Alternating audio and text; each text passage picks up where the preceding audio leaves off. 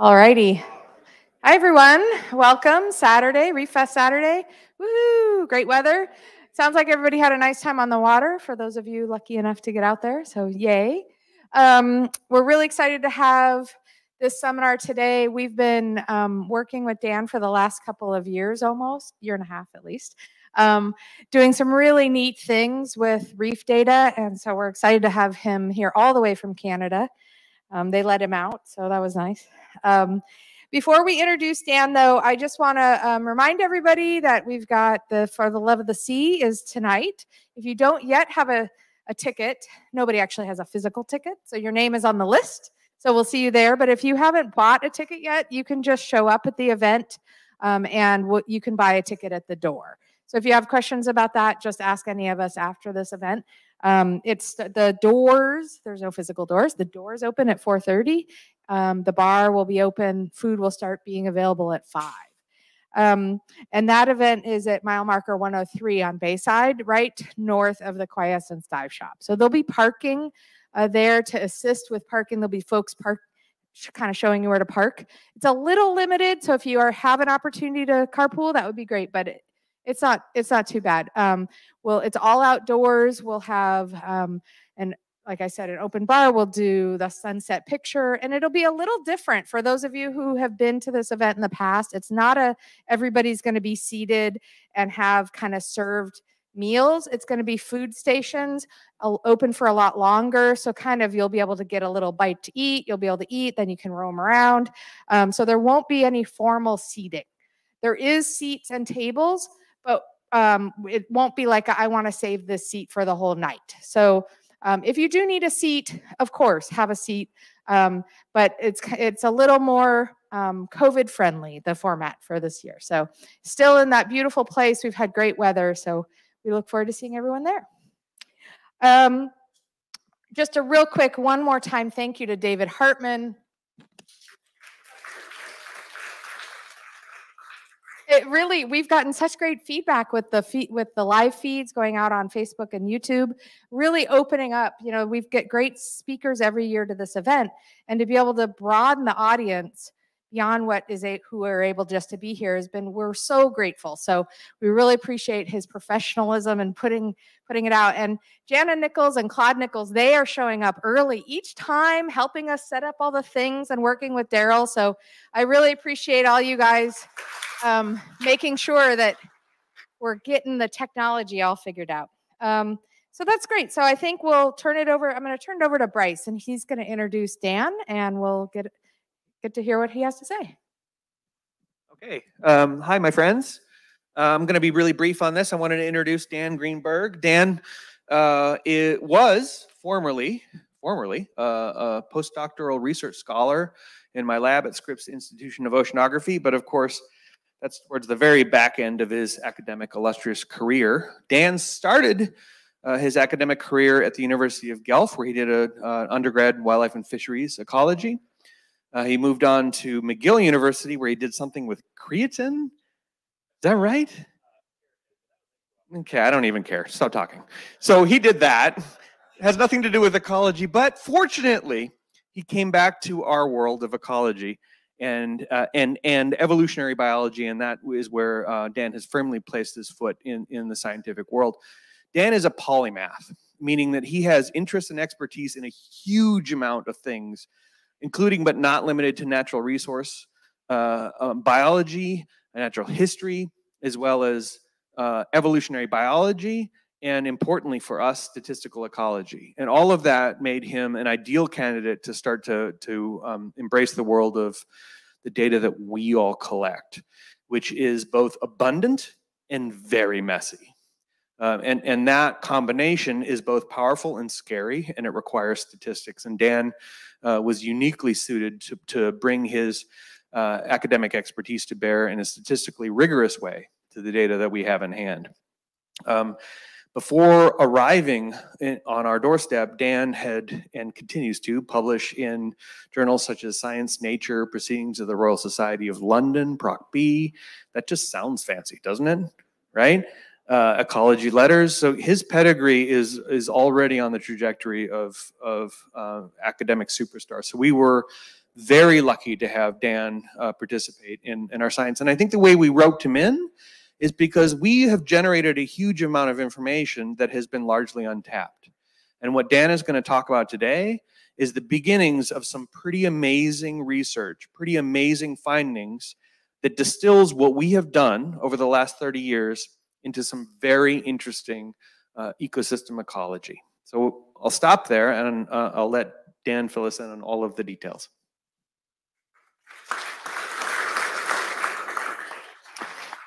Thank you, Brice. Everyone can hear me all right? Great. Uh, as Brice mentioned, I've spent the past year and a half or so trying to dig into the data that you guys are collecting. And as he also alluded to, I'm a little bit of a fish out of water. So I was actually quite excited to finally get down here and come to the Florida Keys after staring at computer screens for a year and a half that maybe represent this place. Uh, and this place is really iconic as an ecosystem. It's rich, it's complex, but it's also iconic because it faces pretty immense human pressures. This isn't unique to the Florida Keys, but it represents really the state of much of the world. Humans have basically taken over all ecosystems everywhere. There's very few places where our impacts aren't felt. This is a human footprint index. Very few places are left wild. So everywhere around the world, ecosystems are under human pressures. And it doesn't just extend to the land, but we've also taken over the sea, of course. This is fishing pressure across the world. Pretty much nowhere is left that hasn't been felt our, our impacts. And not just our direct impacts, but of course the indirect effects of things like climate change. So a major question in biodiversity science, of course, and conservation is, well, given that humans are now the masters of, of the world and engineering ecosystems all over the place, how are other species actually faring? To answer this question, we need this piece of data. This is a population time series. This is measuring abundance of a species uh, in a given place over time. So you can see that uh, populations, of course, change. We can sort of quantify this with some simple models. So for instance, we know that a population at, in a given year is going to depend on what it was the last year, minus some rate of change that represents the births and deaths of individuals into that population. From this, we can calculate, okay, what's the sort of rate of change of that population over time? And we can use these scary equations to then estimate, well, what's actually the long-term change in abundance? This is the population trend. And this is sort of key piece of information to assess how these populations are actually doing. The problem, though, is that getting this sort of data, surveying animal populations repeatedly over time is very hard. It takes a lot of effort and it costs a lot of money. So these data are actually relatively rare. Despite this, though, people have gone to great lengths to accumulate all this data together. There's a couple of major big data approaches uh, to this sort of population time series data. These are the two biggest ones. One's this biotime database that has millions of records. Most of these aren't actually abundance, though. They're just species presence absence over time. And then the other one is this living planet index, which some of you might be familiar with. uh, where this is population abundance from all these sites all over the world. So all these dots represent populations in this case. And people have been analyzing these data sets to really ask, okay, what's the sort of big picture level of change? And the sort of surprising thing is that repeatedly people have been finding this. So this is population change and a histogram. So this is the sort of density of these different values. Uh, so everything on the right is a population that's growing, right at this dashed line. Everything on the left is a population that's declining. And the sort of weird thing, given we know that humans have had these pretty immense impacts on all these different communities, is that overall, the, the situation is that they appear to be stable, at least in aggregate. Now, that doesn't mean species are declining. In fact, there's many species declining and many populations, but it seems like for every population or species that's declining, there's another one increasing. And this seems to be true no matter what taxonomic group you look at here on the left, or what ecosystem or biome you look at on the right. This isn't limited just to this biotime dataset, however. You also find the same thing in the Living Planet Index. So with all these populations, uh, they all seem to even out to be you know, approximately balanced overall. Needless to say, these results have been very controversial. Uh, there's reasons to be su suspect about it. And I think part of the reason has to do with representation. So the populations that, uh, and species that we tend to have data for, uh, that, this long-term time series data, they're really quite biased towards certain particular species. These are species we like to hunt or fish. These are species that are typically, well, wide-ranging, um, or that live in protected areas where they're not facing the same levels of human pressure as your average species in most of the world. And this map on the right here shows you sort of where the most species are for terrestrial vertebrates in these dark red patches, and compare that to where most of the populations are. Unsurprisingly, they're mostly in relatively unbiodiverse regions in the temperate zones where uh, people have more money to actually invest in this. So we're getting a pretty biased view of how the Earth is actually changing right now based on this existing data. To really illustrate this, uh, these are some sort of plots that show uh, the number of species within a given group and then how many species have time series data in the Living Planet Index. So these lines indicate different levels of representation, so 1%, 5%, 10%. And this is for terrestrial systems or marine systems. And the thing to notice about this is that really for most of these groups, they're down here. They're below 10% of species that have any data at all a little, it may look a little bit better in marine realms, but the groups that have good representation are really small. There's not that many marine reptiles. There's not that many Arctic mammals, but lots of the things that are very diverse, we basically have very, very little data on. Now, even for the species we do have data on, the data tends to be not very good. So the value of a time series is how long it runs for. That gives us a more accurate measure of how the population is changing but most of them fall within this pretty short time range, about five to 10, or less than about five to 10 years. Um, you can't get very much information from this.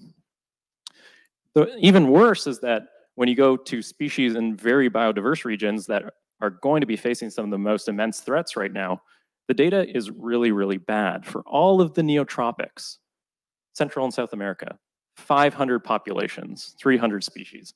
Most of these are about two or three years of data. This is really not efficient to, to estimate population trends.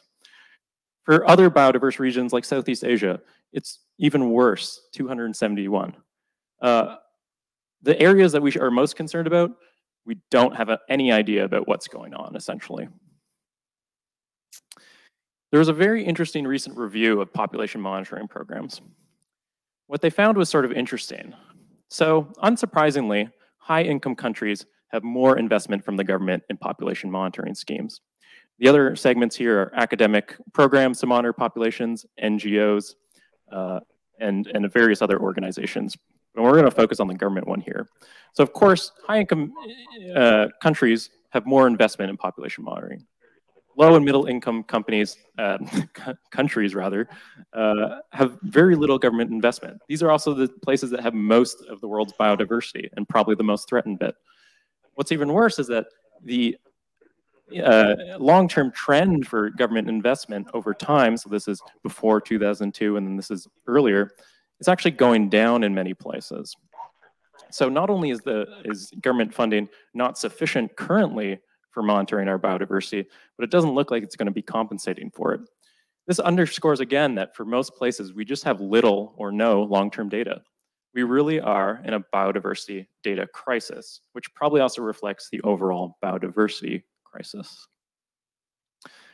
This is where I think citizen science is coming mm. is going to be coming in and making a very big impact. There's a number of citizen science initiatives, here's just a few, that are now operating at really vast scales. And they're going to play a very important role in filling in this massive data gap. To illustrate this, birds are really the best surveyed group. This plot shows the sort of increases of records of birds in the in uh, the great uh, biodiversity data sets.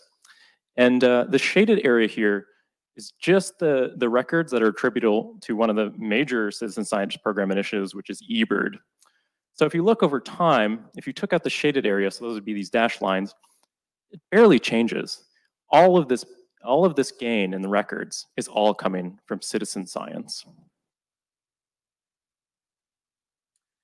And this, this particular program has taken off immensely. And what's very interesting about it is if you actually compare eBird records uh, that have uh, uh contributed to uh, GBIF, which is a biodiversity sort of data collation program, uh, it's massively expanded the scope of geographic representation around the globe when you compare it to just the Living Planet Index, where again, the populations are highly concentrated in only a small number of areas, uh, which are generally the temperate north. But this opportunistic citizen science data also comes with important caveats. So to think about this, we really have to compare how we traditionally sort of measure population abundance over time in a sort of structured survey that a government agency might run versus citizen science that's generally opportunistic. People go where they want and do it in the way that they want and sort of generate the data opportunistically. So of course, in a systematic survey, you're trying to keep effort constant. So a set number of time that you'd survey a site for to count individuals. Uh, but in citizen science, effort can be highly variable. Some people may go out for several hours. Uh, some people may just actually literally put in more effort to observing things. Uh, and so it's quite potentially variable, which of course is going to affect how we measure things like what abundance of, of the species that you find in that area. In structured surveys, we try and randomize the sampling so that's representative of the area. So you're not only biasing yourself towards going to areas where you think you're going to find it and of course get higher abundance estimates, but you go everywhere to get a sense of where it's doing across all these different places. In opportunistic surveys, well, sampling is non-random. It's determined by human behavior, where people want to go. People often want to go to sites where they know they're going to find things. So the sampling is, is quite messy, but uh, and that, that potentially could int introduce problems. In structured surveys, generally you try and make it so that observers are highly trained, uh, they, and that this in turn sort of minimizes differences in, ability, in their ability to observe uh, individuals out in the wild. Um, citizen science survey, of course, observability is going to be highly variable. Uh, you can compare my reef survey from yesterday to Brice's and just see that for a good, very good example. And so structured surveys are finally kind of have sampling designs to reduce all these human-induced biases. But in citizen science data and opportunistic data, the human behavior and biases are really baked into it. So many people have used this sort of problem to say, well, citizen science isn't going to be really useful for ecological modeling. But people have actually asked this uh, in, as a sort of scientific question and compared, okay, if we take citizen science data that's collected opportunistically and compare it to some sort of reference structured survey, uh, like a government sponsored uh, monitored survey, you know, what do we actually find? There's been several studies of this in birds and insects where they're really some of the more better studied groups. This is probably the largest study. Uh, this was with eBird data uh, collected for a very large number of species, about 8,000, uh, comparing it to sort of like population trends uh, from BirdLife International. So these are sort of coarse categorical trends. So basically they're saying, okay, if you see a trend in eBird where it's going up, does this agree with what BirdLife International says about this species? Is it also increasing or is it stable or is it decreasing? So overall, the agreement is only about 40% between citizen science data and these estimates. It gets even worse when you start looking at sort of species across different measures, for instance, uh, how threatened they are. So it does okay job for the sort of common and abundant species that aren't particularly threatened. But for highly threatened species, so these are near threatened, vulnerable, endangered, and critically endangered species, the agreement in terms of the population trend gets even worse. So this isn't exactly a ringing endorsement. But really, we have to evaluate each program separately. And although birds receive a lot of attention, people like to look at them. People also like to look at fish. But not only that, fish are really important. So what's going on? We have to consider as well that many people around the globe, millions, probably billions of people in fact, rely on this resource and these species for food and for income. And we know that most of those harvested species, they don't have data and they aren't being monitored for the vast majority of stocks. And if you consider actually just total marine biodiversity, so not even just the fish that we harvest, but also those that just exist in the ecosystem, it gets even worse. Those assessed fish stocks are really about 1% of marine biodiversity. This isn't very uh, comforting. But we also know that when you have data and you can use this data for management, we do a better job at keeping these stocks sustainable and making them last longer and not overexploiting species. So we really need to start utilizing this data and evaluating it and see whether or not it lines up. And of course, we have this resource now with the reef data. So the Volunteer Fish Survey Project is really old for a citizen science project, really old. I don't know if you noticed on the on the eBird ones, but you know that went live in the you know mid 20 around 2010, 2008. Reef data go, goes back all the way back to 1993. It's a mass a massive data set. Globally, about nearly 10 million records. And within the tropical Western Atlantic region, there's almost 8 million records alone. This is a massive biodiversity data set, one of the largest for our oceans. And it all started here, down in the Keys, which is also very interesting because this place has, of course, changed a lot. It's a, obviously a massive draw for people for the amazing diving here. Um, but these reefs haven't exactly had an easy time for, since very the, big, the very beginning. A really interesting study looked at British nautical maps from the 1770s. And from this, they were able to find, okay, where had these naval captains sort of mapped out coral reefs across the Keys. And based on this, they were able to compare it to sort of current benthic habitat maps and show that there's been really massive losses of coral, which probably isn't too surprising, um, particularly in Florida Bay, nearly 90%. But even all the other parts of this, uh, there's been very large declines in coral cover. Now most of these are seagrass or bare substrate. Of course, it's not just that since you know, the 1770s that things have gotten particularly bad, but they continue to do so, as many people here have actually personally witnessed. So coral cover has continued decline from mass bleaching events, disease outbreaks, um, all sorts of factors that have contributed to this.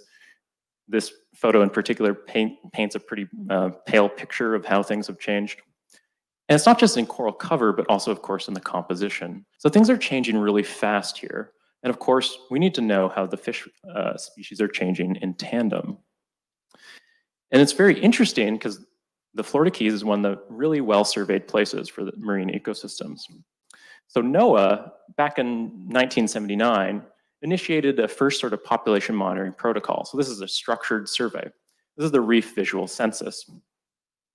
And so this gives us a really long-term look uh, with a sort of calibrated, structured survey going back in time. Now, what they do in the Reef Visual Census is they've sort of divvied up all the coral into these different habitat categories. So things like spur and groove, uh, patch reefs, or uh, contiguous reef or rubble. And they sort of use a stratified random sampling design to randomly put down sites across these different habitat categories. And send what they do is send down a pair of divers to count all the fish that they observe in about 15 to 20 minute period in a circular plot that spans about 15 meters in diameter. And we can use this to basically calibrate and test whether or not the reef data agrees. But really, we have to think about how these data structures compare. So as I said, the RVC has these stationary circular plots, so the divers are staying there and they're canting whatever comes close enough to them. They're not moving around. Reef, of course, you're moving around, hopefully. Um, it has a limited observation window that's sort of set at a certain time, so there's a sort of constant effort. Of course, your dive time is going to vary, but we also have that data. For each of those grid cells where they do sort of a, a overall sampling point, they do about two to four of these sort of smaller scale circular plots within it. Uh, dive locations, of course, are going to be highly variable. Um, some are going to be visited quite frequently, others are going to be visited infrequently. But again, we have all this data recorded.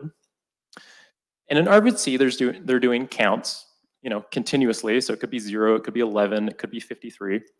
Um, and Reef has a sort of different data structure, as you guys are going to be familiar with, where it's binned into categories. So 0, 1, 2 to 10, 11 to 100, or 100 plus. So it's slightly different data structures. But we can account for some of these things and actually build it into how we study it. So the very cool thing is that we can actually take all the reef sites and compare them. So these are the sites in red are reef dive sites and compare them with the RVC plots that have been conducted over these years. And when we did this, we were able to pull out all this different data, uh, basically in the same place and over the same time. So in Key Largo, we have data for 25 years, about 2,500 RVC plots, um, and about 3,400 sighting records, compared to a much actually larger reef uh, sampling effort, which is about 10,000 surveys across 160 sites. So the, da the data, of course, are going to be very different. One's doing sort of random samples of different plots through time, and the other one's doing repeated samples on the same places. But we can account for this. In Key West, we also have good data here, uh, where both reef and the RVC uh, data sets overlap. And this spans about 20 years, starting in 1995 to 2015. So based on these, we can start analyzing the data to figure out, okay, are they going to tell us the same thing about how populations here are changing? But there's an important point that we have to consider. So when we measure a population, we don't really know whether or not we're measuring true population change or whether there's just some element of error. So of course, we have our, our sort of model for how population has changed, or this is what it look, would look like on the R scale, uh, on the log scale rather. And this is would be the true population trajectory. But we never actually get the true population. We get an estimate. And, and so that year-to-year -year, uh, sort of change, uh, in this case, over time, would be sort of true demographic change. So we call this process variance, so demographic processes. But the other component here is that there's also going to be additional variance that's, that's, that is basically put in through just measuring things. So this would be our population estimate. We don't get the true population. We get some additional thing with variance around it. And so if you compare these two, we can try and estimate these two components, the different types of error that contribute to what we actually observe from year to year. And we can basically tease these apart statistically. We can also take two different estimates. So in case here and here, so these are two sort of uh, time series where there's both process variance, so the demographic change, and the measurement error. And we can see whether or not they actually fit the same sort of underlying population state, so that true population. And then we can test whether or not, okay, these are actually from the same population, but with different sort of levels of measurement error around it, or whether or not they're actually two distinctive populations. And based on this, we can kind of use the data to actually say, well, how well statistically do you, does a model where they share a, a population or they have separate populations actually fit the data that we observed? So this is what we did. And you know it's high, highly uh, cutting edge when it's called state space. So we were able to find pretty good data on population trajectories for about 90 species uh, in Key Largo and Key West. So 85, 85, 86 species in both places. And with the reef data and the RVC data, what we wanted to do is sort of correct for these lurking biases. As I mentioned, the citizen science data, it's opportunistic. There's all these different factors that can influence it. So for RVC, um, it's just the habitat class. So these are defined based on those sort of RVC benthic maps. These would be the patch reefs, your sort of contiguous reef, uh, spur and groove, or rubble. We were able to pull out the same habitat classes based on the overlay of the reef sites um, so that we have can compare them directly. So for RVC, it's just habitat class and then what depth that they went down to uh, to, to figure out uh, how that explains uh, uh, abundance estimates. But for reef, we add all these other things. So there's both site, what site you visited, and the habitat class of that site. There's diver identity, so some people might see more, are more likely to find a fish and other people's less. There's also these kind of sort of temporal clusters in the data. So this is when a bunch of divers go out on the same day at the same site, as we've been doing for the past two days, um, where of course they're more likely to see the same sort of things. But we can build all this in to the model. Similarly, we have all these other covariates that represent things like depth, the amount of time people spent surveying, uh, visibility, or whether or not uh, you know it's an expert or novice observer. And we can sort of build models around this. And what's very interesting is if you actually sort of take all the variance in abundance and you do what's called a sort of variance decomposition, you can figure out you know what which of these different factors actually contribute more to what we're observe on any given dive. So the two sort of measures of, of how populations are changing, which are in blue here, they're actually a pretty small component of the overall variance in survey abundance. If you compare this to things like site and habitat, site has a very big effect for many species, habitat as well. Uh, diver can have a pretty big effect. Uh, and of course, the actual date, so those te temporal clusters can be big as well. And then for other species, it generally varies for things like depth.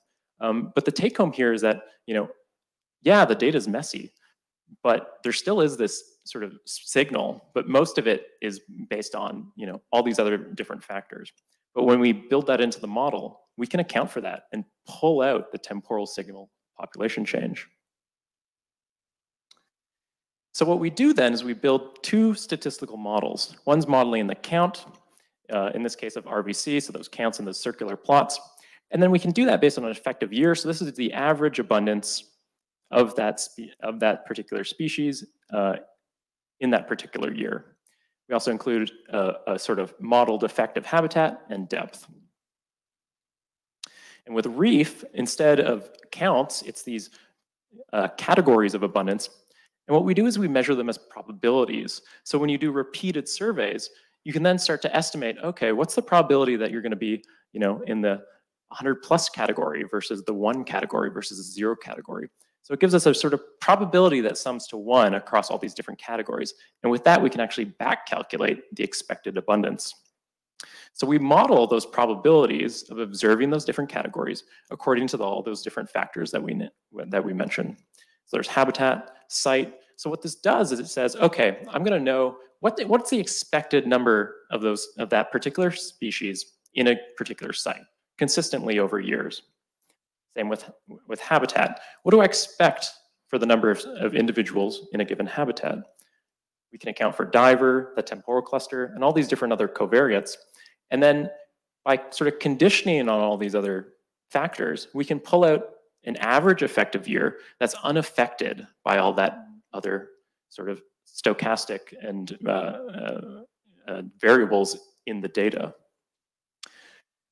And when we kind of build both these models together, we can pull out these year effects and then say, okay, does a year effect in the RVC, so if it's particularly high in one year, particularly low in another year, does that come from the same population trajectory, from the same shared XT here? Or does it come from two different ones? So they're allowed to do their own things. So they either fluctuate together or they fluctuate separately. And here's what this actually looks like. So here's data uh, for the yellowhead wrasse and Key Largo. And you can see the reef data is here in red. And what these points are estimating is this is the estimated year effect. And this dashed line is the shared population state for each of them. So when it differs, it's saying that, okay, this is all measurement error, the difference between the dashed line and here. And same for the RVC, which is in blue. So this is the shared state. You can see it fluctuates together for both of these. So we can compare this combined model where you have they're sharing the same population state with a separate model where they're allowed to fluctuate independently. So now the model, the, you can see the dash line has shifted up and it tracks the reef data really closely. What that's telling us is actually there's very little measurement error according to the statistical model in that population time series from REEF. The RVC model is now allow, allowing itself to do its own thing. So this one's capturing different fluctuations and this one isn't. So we can compare these two statistical models and say, okay, well, how well do these two different model sets actually fit the data? And sometimes it fits really, really well. So here's just a few examples. You can see that, you know, the populations in both of these different surveys are really fluctuating together. So you get the same sort of peaks and the same sort of troughs uh, happening over and over. It's actually remarkably congruent in some of these examples. But this isn't necessarily always going to be the case. So we can ask then, okay, uh, now that we've fit all these models, let's pull out the actual average abundance over years and ask, okay, at a very broad scale, so what's the, what's the most common species in reef and how does it compare to the most common species in RVC? We can ask this both across the surveys and across the regions, Key Largo and Key West. So this is showing you um, the comparison between Key Largo and Key West um, for both of these surveys. So this is the RVC up here in blue. And what you can see is that, you know, rare species in Key Largo tend to be rare in Key West and common species in Key Largo tend to be common in Key West. It's the same for reef as well. It's pretty consistent. And this gives you a sort of measure uh, of how consistent that is. So the closer to one it is, the more closely that aligns. You can see uh, in this case, there's some differences in terms of what species tend to be really rare uh, in either survey. So the sort of variance ends up scattering a bit here. But then this is what it looks like when you compare it between the actual surveys in the same place. So the green points are, are populations uh, of, and species where they were best supported by this sort of combined population model. And the yellow ones are where they uh, expect them to actually diverge. But overall, you can see that there's actually pretty good agreement, both in Key Largo, slightly more messy in Key West. But overall, they're telling us pretty similar things about the overall sort of structure of these communities. So when we actually quantify and say, okay, if we use a sort of model testing framework to see which fits better, well, how well do the model fit for all these different species? So the same shared population trajectory, meaning that the data agree on how the population has changed, was supported for about 70% of species in both of these regions, much higher than the 40% we saw in those other studies. But of course, there's still about 30 uh, percent of species or so uh, where they differed. This is one example. So in this case, saying that black grouper has actually fluctuated quite a bit based on the reef data, uh, and in Key Largo, it's really flat. So in this case, the model will say, okay, actually, this seems to be uh, doing separate things. And what's interesting is when you actually look at where these, uh, which species tend to diverge in these regions, uh, they tell potentially very different stories. So the reef data seem to be indicating in many of these, for many of these species in, in these two regions, uh, indicating that there was a pretty big decline over this period from 1993 to 2018. So this is an example with rock beauty. This is the reef butterfly fish. But if you looked at the RVC data and you're relying on this, you wouldn't find much change in this. It seems to be largely flat. Same here. The same thing in Key West. Very large declines in some species, Smaller, but still a bit of a decline in, in uh, the RVC data, but not nearly as dramatic. Same here for this other species. So this was very curious because given that we know that the ecosystem here has changed quite a bit over this period, it's quite sort of surprising to be finding this sort of uh, balance. So we actually tried to quantify this by looking at, okay, let's compare those population trends for those two different models and see how they line up. So in each case, the blue point refers to the RVC trend, and the red point refers to the, the reef trend. So anything that's above zero is increasing over time. Anything that's below zero is decreasing over time. What's interesting is that in about 70% of cases in both regions, the reef data is indicating that the population trends are lower. In many cases, indicating some very strong declines in certain species that are not being estimated in the RVC data. So which one is real? Well, we can actually sort of test this using our time series statistics um, by basically estimating the proportion of variance, so the proportion of fluctuations that we can attribute either to process or to observation. So that the measurement error or the demographic change. And we can quantify this in the models that we build. and sort of compare across the two surveys what each one says. So what's very interesting is that the proportion of measurement error uh, in each time series tended to be lower in the reef data. So in about 73 quarters of cases, so the red lines here indicate all examples of species where the measurement error in the reef data is actually lower than the measurement error in the reef visual census from NOAA. Uh, in about 75% of cases, uh, they were lower. In, in, and this is also the same in Key West. So this is really interesting. This basically suggests that actually the reef surveys, so these messy, opportunistic surveys, are actually more accurately capturing population dynamics. And what's really interesting is that when you actually start comparing these closely, so these are the sort of trends averaged across different families of fish in, in each region. Uh, the red, again, is reef, blue is RVC, and this purple is sort of the combined measure, is that we're getting very different eco ecological conclusions from these two surveys. If you actually take the population trend and estimate over the 25 years what that adds up to, these are very different estimates. RVC saying hamlets are up uh, 100%, whereas they've declined quite a bit more in the, the reef data. Uh, similarly, there's many cases where uh, the differences are massive. And so what this means is that we're getting very different conclusions from these two surveys. And this uh, means that we're probably revealing otherwise cryptic population change and population decline that otherwise is not being noted by these other surveys. So just to get us all up to speed here, again, we really don't have a good grasp on how populations uh, and are changing in most of the world. Citizen science, though, is really amassing data at massive scales now. And this is, has a ton of potential to fill this biodiversity data gap. The reef citizen science surveys are actually really effective at popu uh, tracking populations uh, relative to structured surveys. And indeed, they may actually be more accurate than these structured surveys and have potential to reveal some sort of cryptic population change that otherwise is going unnoticed. So this means that citizen science data has can potentially be leveraged to actually make better decisions and actually do evidence-based management. So as we mentioned before, there's numerous small-scale fisheries that are operating with essentially no data. And policy and management decisions are still being made, but they're being made naively. Of course, there's many other species that aren't actually harvested, but they're species of conservation concern that we also just aren't tracking, and we may lose them entirely without being able to respond. And of course, bad decisions thrive in this uncertainty. Uh, but an unrelated topic, let's talk about Goliath grouper. Um, so as, as many of you know, uh, Goliath grouper essentially went nearly extinct here uh, after some very heavy overfishing uh, throughout the sort of latter half of the 20th century.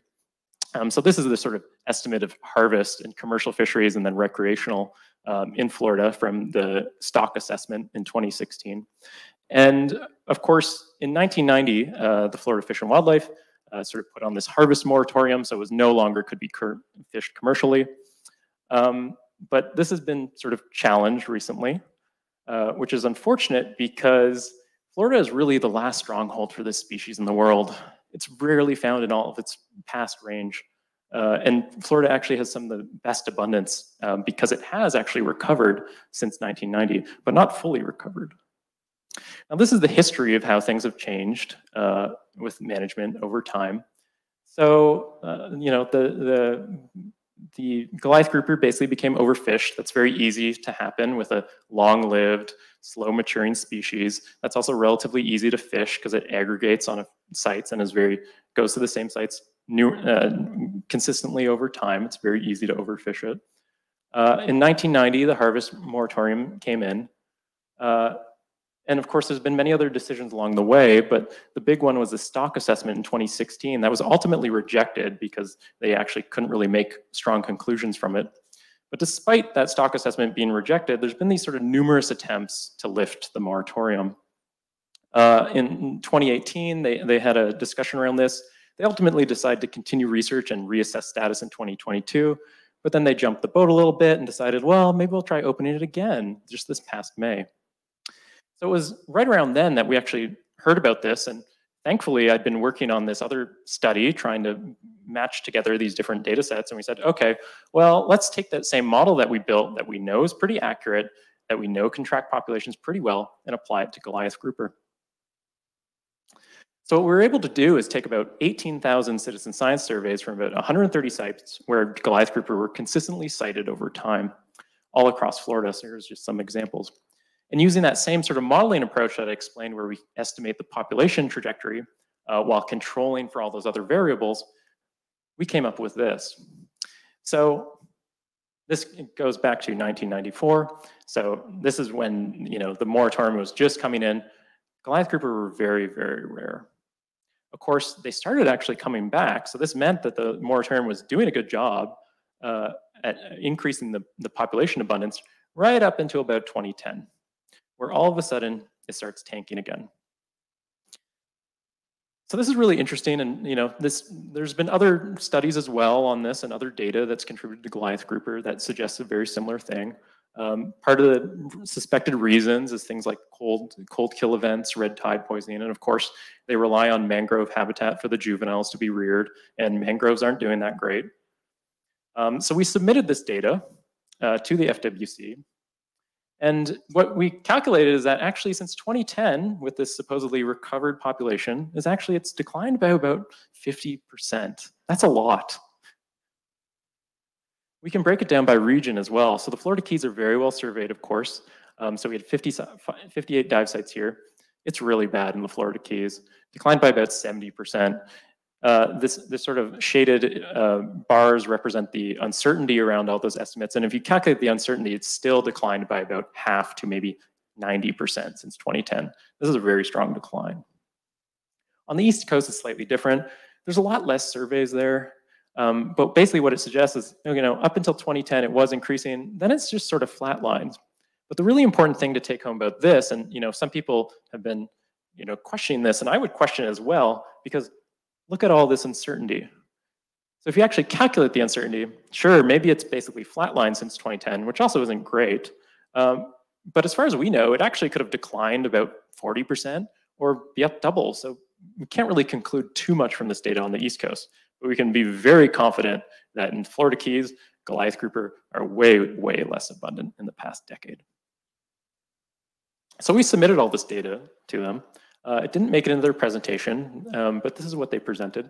So, you know, here's some other data that they include. So this is sort of angler surveys um, from fishermen in, in, the Everglades Park um, and other recreational catch, um, where they can do sort of catch per unit effort. And this is the trend over time. So just like like uh, some of ours, it's like you'll see these sort of peaks right around the mid 2000s. Um, I guess they they just honed in on this data point, got really excited, and decided to open it. Um, but if you look at the adult indices, so this is older reef data. So this is from the the stock assessment report in 2016. They didn't bother to actually look at it to 2020. Um, we did, uh, and we sent it to them. Um, but you can see again, right up until 2010, seems to be relatively fine, but not doing that great since then. So this is the data they used, and ultimately they decided that, yeah, we're going to go ahead and start fishing it. So this is the rules they've proposed. So up to 20, uh, 200 rather, Goliath grouper per year, uh, and it's a sort of lottery system. So you can put in the lottery for $10 and get a permit for one for 500. Uh, it's limited to just juveniles, so 20 to 36 inches um, and has a you know certain harvest season, and they've sort of closed off the harvest uh, in the, these areas.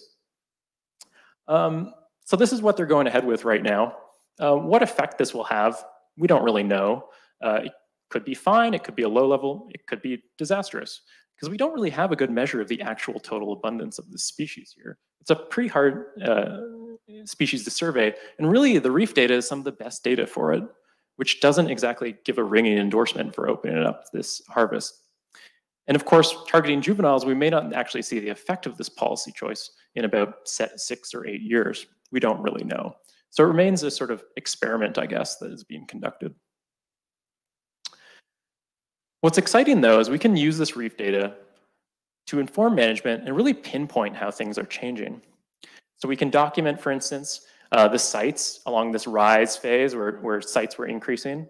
And we can calculate population trends across all the different sites that people were diving at over time. So the red here indicates areas where they actually didn't increase, but they declined over this time. And everything that isn't red, basically, so from orange to blue, are sites where in some cases they've increased a lot, in other cases they've increased mildly. Let's zoom in a little bit. Uh, so in this early phase, actually there were some still clusters of sites declining, for instance, in the Dry Tortugas, uh, also a few sites in Key West, uh, and some mixed bags here around Key Largo, and also sort of near Miami. And then really importantly, we can also document in the last 10 years where things seem to be particularly bad. So now, basically everything that um, not blue is a site, is a population and a site that's declining. Uh, and most of them are. And let's zoom in on some of the worst places again. So Dry Tortugas, though, has actually seemed to have rebounded a little bit since the early earlier declines.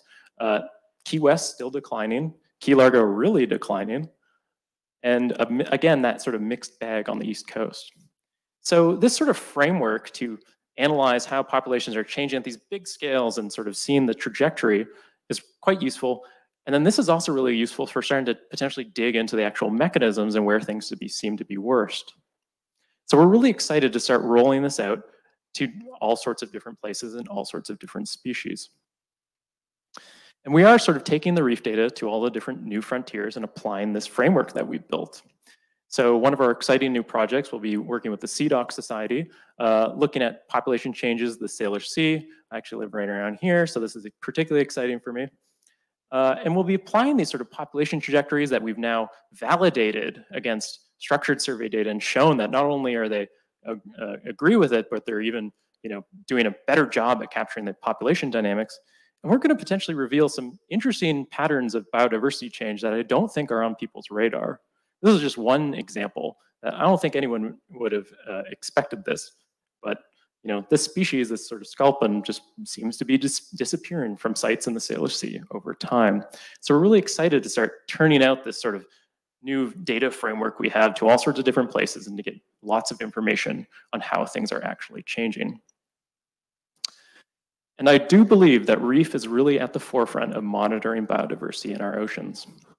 It really has the best long-term data available for, for most of Earth's coastal ecosystems. And of course, you know, we've just talked about this little part here, but reef is global in scale, and many of these places have very little population monitoring data.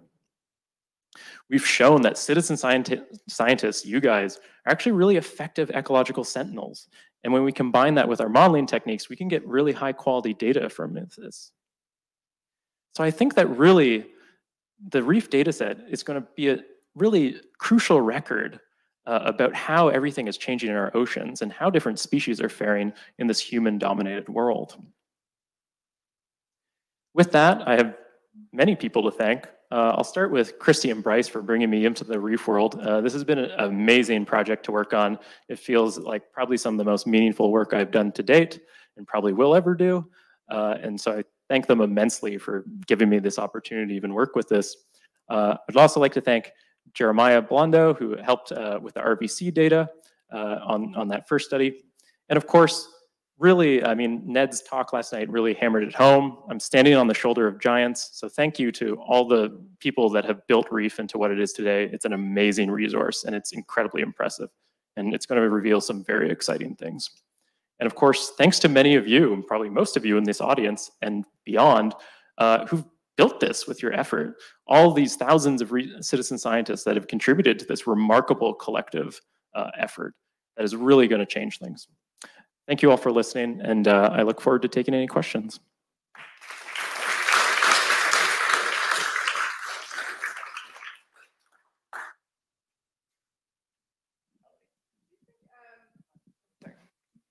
The changes of Goliath grouper potentially up in Palm Beach, Beach County could uh, the increase that you saw actually in that population there could could be due to the increase in dive charters going out to the spawning sites there? Do you look at survey numbers? So, I mean, it's an interesting question. Basically, with the statistical framework that we use, the increased numbers shouldn't actually affect things because it gives you sort of more resolution on the data, but it shouldn't necessarily bias it towards finding more or less. That's because we basically know that, okay, if people are going to a particular site and black grouper is there, we can basically estimate, okay, well, how many do you expect to find at that site, right? So even if there's sort of more survey effort, it'll just sort of like improve the precision around that estimate rather than actually making it go up or go down.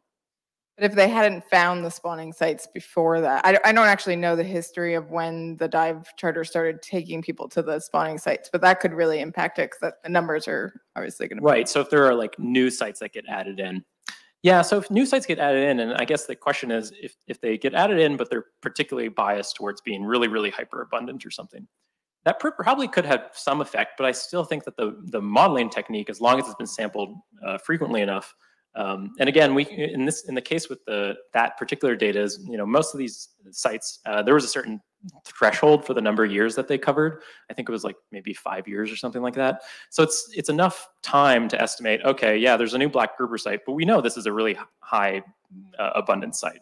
So it still will fit that sort of effect of that.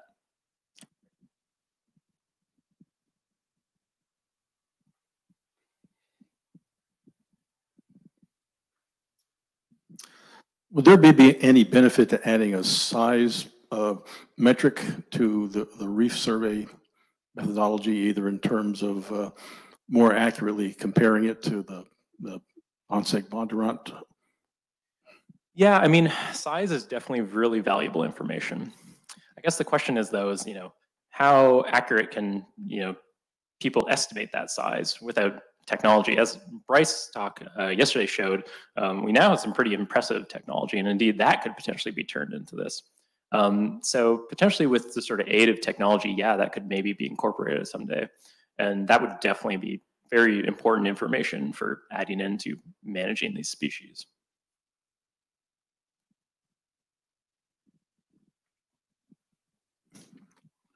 Hey, Dan. I have a quick question that relates to Palm Beach. Do you stay away from aggregate, aggregation time periods that would tend to bias your data, or do you factor that in or out? Yeah, so actually that's a great question. We actually decided um, for this analysis that we just omitted all the aggregations um, because yeah, we people could be finding more aggregations and that could actually make it go up, but it was just easier to do okay non-aggregative sites uh, to see how it's sort of like how it's changing on your average reef or, or wreck dive site, right? So the difference in process um, error between the two Yep. different data sets that you combined is one fascinating. I'm I'm curious if you have any speculation on what's different between the survey processes that might have led to that. Is it that reef surveyors are more able to look in little cracks and crevices in the other data set, which you might be able to see in species or Yeah, that's a great question, um, which I didn't get into, uh, but thank you for asking that. Yeah, so it's really interesting when you think about it, right? So these are two different strategies. One is visit the same place repeatedly. Well, not the same place, but same places repeatedly, um, versus in the RVC data, it's like visit it once per year. So that doesn't work so well if populations have really high spatial structure. So fish are really like quite um, heter- distributed very unevenly across that landscape, if you just happen to put plots on the sites that they like, uh, then you may say, oh, it's really high up this year. And then the next year, randomly sample and it's on kind of crappy sites, then you're not going to find that. But by visiting the same places over time repeatedly, uh, you get a much finer estimate of, you can model in that spatial structure so you can actually account for it. Um, and then you can see get a much more precise uh, sort of estimate of, of the temporal change. So I think that's the main difference, and I think that's actually you know uh, a very great benefit of the reef data because of course many of these species are going to be very heter you know distributed very unevenly across uh, the landscape as they like particular sites and particular habitats.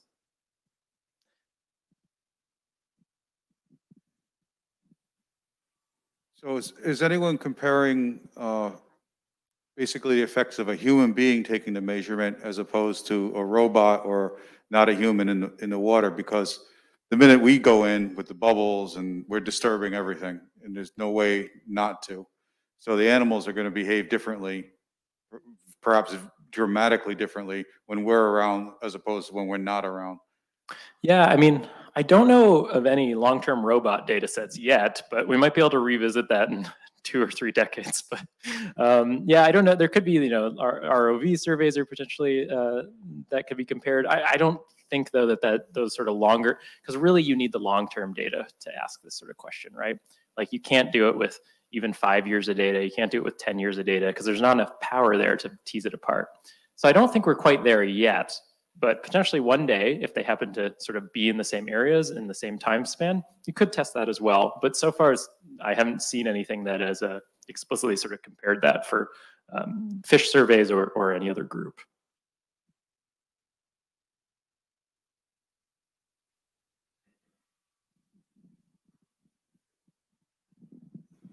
So I see that we're, we're counting numbers of fish, but is there any other studies that that study the reasons that the fish are, you know, numbers increase or decrease, like water quality or, you know, uh, are the universities being involved or other scientists being involved?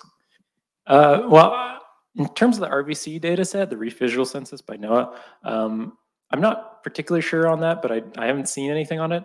Um, that said, so our framework for for sort of analyzing the data, like we're we're just scratching the surface here. So this was all about validating the data and showing that actually reef is super super valuable as a way to track population change. Now that we've done that, we can start expanding this out to all number of questions. So we can ask, okay, is that population fluctuation in a year where it when the population crashed, was that tied to an event like uh, climate event or changes to the terrestrial landscape around the site or something else like that, we can start pulling all that data together now and actually start asking some really interesting questions about what's not just what is the trend, but also what's driving it. So that's amongst the many sort of directions that we're going to potentially go with this. Um, and yeah, this is just this is just the beginning, really. Dan, you were able to show you know, the comparisons between the reef and the RVC that 70-ish percent of the time they agree, 30% of the time they don't. And when they don't, it seems that the reef data are better at answering the questions you're trying to ask than RVC data. So let's go back to the eBird versus the Bird International data where they only agree 40% of the time. So the other 60% of the time, is eBird better or the scientific surveys? Well, so they didn't do it in the same framework. So in the sense of being able to estimate whether or not the change over time is due to measurement error or due to this sort of like demographic process. This is why this is sort of a leading edge of statistical models to really pull apart these things. So um, they, they can't really say. Um, but I think this is really like one of the most sort of integrative ways of, of asking this question that's been done uh, as of yet. So maybe they'll ask that after they see this. Dan, uh, a few years ago, I interviewed Dr. Craig Hilton Taylor, who's the head of the Red List in, in uh, England, the IUCN. I thought your presentation was fantastic. And I wonder if you supply or can in the future supply a lot of data to the red list, which recently changed the Goliath grouper from critically endangered to vulnerable, not because they were getting more abundant, but rather because they tightened up their definitions of what those things are. The reef data is fantastic and your presentation was great. Do you work with those kind of groups? Thanks. Yeah, so this is the sort of interesting thing that's going to be coming up with our new project on the Salish Sea is that working with the SeaDoc Society, explicitly one of the things that we want to do is build, so we built this framework, we're, we're kind of aiming at all the data in this area. And the next step is getting in government agencies of, for, and this is a transboundary thing too. So there'll be, you know, Canadian government agencies, provincial, federal, uh, and in the state of Washington, Oregon, getting all these people together, introducing them to what we're actually able to generate from the reef data and I do hope and think that this will be a massive resource for uh, government agencies and non-governmental ones like the IUCN. So we're basically, you know, again, just starting the process and it's going to build into some a resource that I hope many different uh, agencies are going to use.